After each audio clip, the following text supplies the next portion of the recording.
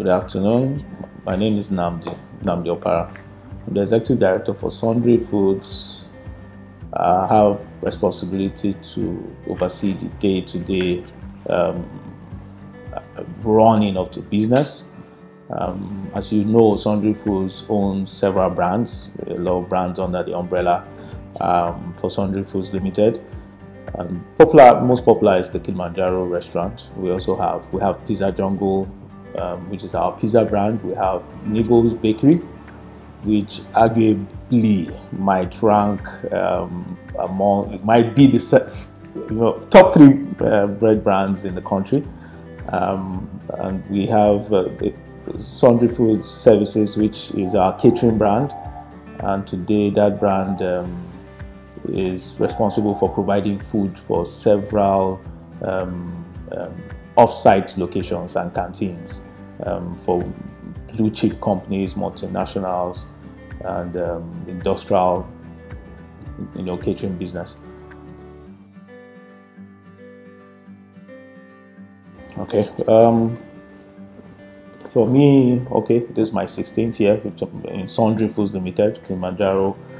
Um, came alive um, 2005. We started Sundry Foods in 2004. When I was joining Sundry Foods in 2004, um, August 4th to be precise, um, yes, there were there were fears, there were concerns for me as a young um, graduate at the point, um, trying to join a company that um, was just starting, a startup that was just starting. There was nothing to reference. Um, the industry was not even a very popular industry. Um, it's not an industry where you would encourage, you know, somebody you love to jump in. There were other uh, more attractive industries. There was the oil and gas. There was the telecoms.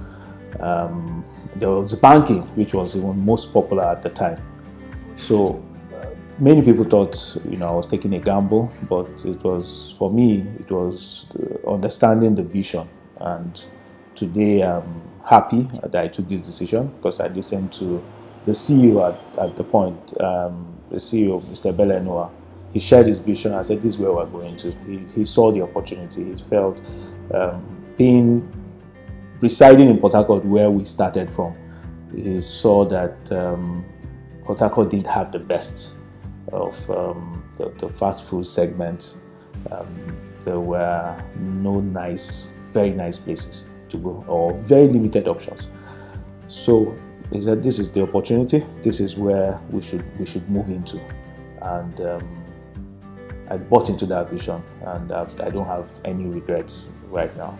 But yes, at that point, in, in truth was a couple of friends will say, "What are, what are you doing? You know, why are you going here? Why are you why are you going to sell meat pie and you know rice and beans?" But today it has been a very interesting, very interesting journey, and for me, I am most uh, proud and excited of being part of the pioneer team that has built this successful business today.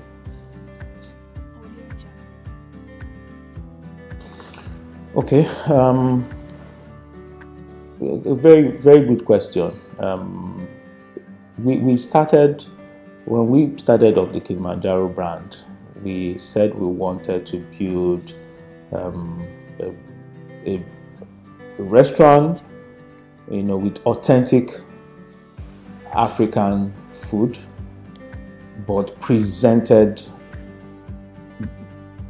in an international standard and style. Okay, and um, you walk into a Kilimanjaro store today, you will see unique. We, we were, I think, the, the first to, to present it the same way you see uh, the kind of displays that you will see in a McDonald's store or with an international brand.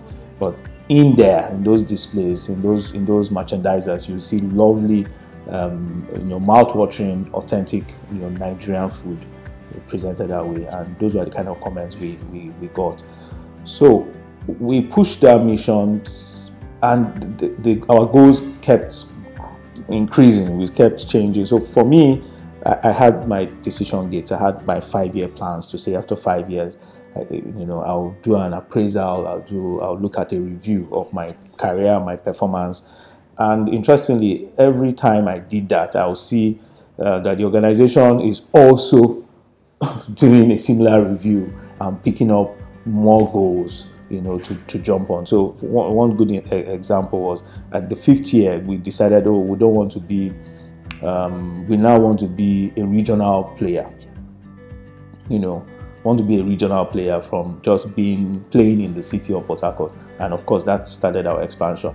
Um, at almost my ninth year or the ninth year of the business or so, we now said, I want to be a national player, you know, and that changed again. And once you are taking that kind of decision, everything has to change. The way you develop people, the way the challenges, the, you know, um, raising financing and, and all.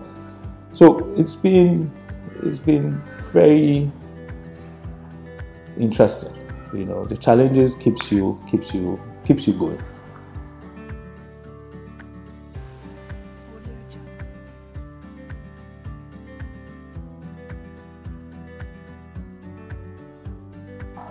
Okay, um, for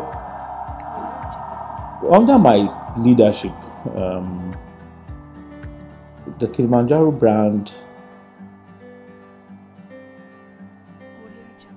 is the, the, vision for the Kilimanjaro brand. First of all, is to you know put our footprint all over the country. Um, today we have 43 stores.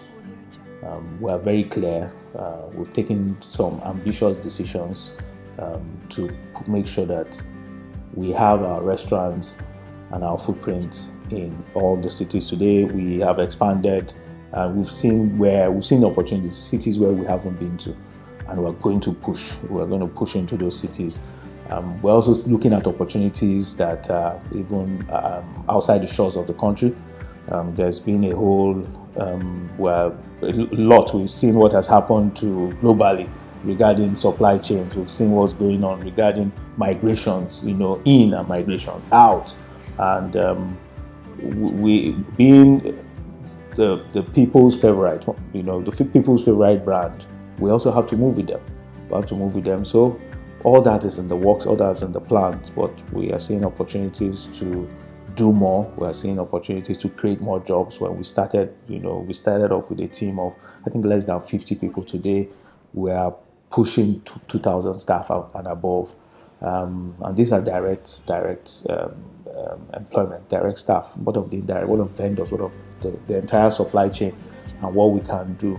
We are very excited to seeing um, opportunities that we have presented to farmers and um, the agri industry generally. Um, for us, we are the front, you know, because the conversation right now is farm to fork and we're at the front end. Without, if we don't, if we don't do our best, then we are also limiting um, the the supply chain for the for the agro agro business, which the, the, the entire country and of, of, course not the entire country is interested in. And of course, we know that um, even Nigerian government is moving from oil to you know to agri. Um, so there's a whole lot of opportunities for the Kilimanjaro brand. We will just keep. Um, um, um, I'm seeing opportunities even to create more meals, introduce more meals, as as people the taste, people's tastes grow. We are following um, our customers. You know, we met some of them over 15 years. Some early Kilimanjaro customers were, were kids. Today, you know, they are they are joining the workforce today. You know, so it's been it's quite it's been an interesting journey.